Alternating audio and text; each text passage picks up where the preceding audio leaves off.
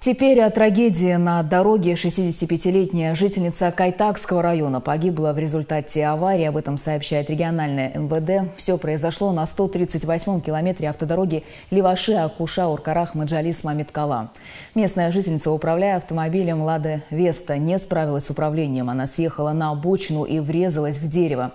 Автомобиль опрокинулся. В результате пассажир авто скончалась на месте происшествия. Водитель с различными травмами госпитализирована.